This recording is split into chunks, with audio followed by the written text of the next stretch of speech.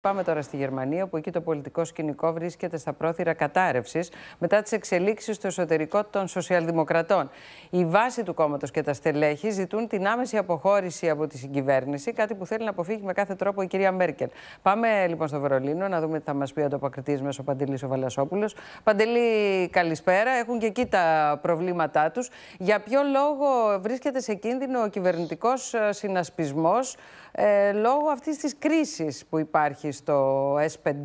Φαίνεται ότι δεν θα την ξεπεράσει το Σοσιαλδημοκρατικό Κόμμα αυτή την κρίση.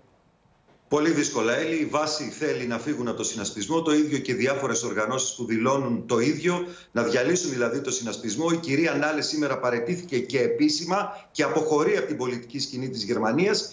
Το κόμμα θα διοικείται τώρα από μία τρόικα ε, η βάση, όπως είπα, ζητάει εκλογές. Οι πράσινοι ζητάνε εκλογές. Να αποφασίσει, λένε ο λαός. Η κυρία Μέρκελ και οι χριστιανοδημοκράτες ναι. δεν θέλουν εκλογές. Και τα σενάρια όμως λένε ότι θα πάμε μάλλον σε εκλογές ή το φθινόπωρο ή στο τέλος του χρόνου. Μία κρίση που σίγουρα θα επηρεάσει ολόκληρη την Ευρωπαϊκή Ένωση. Μάλιστα, λοιπόν, πολύ σημαντικές οι εξελίξεις, όποιες και αν είναι αυτές παντελείς. Ευχαριστούμε.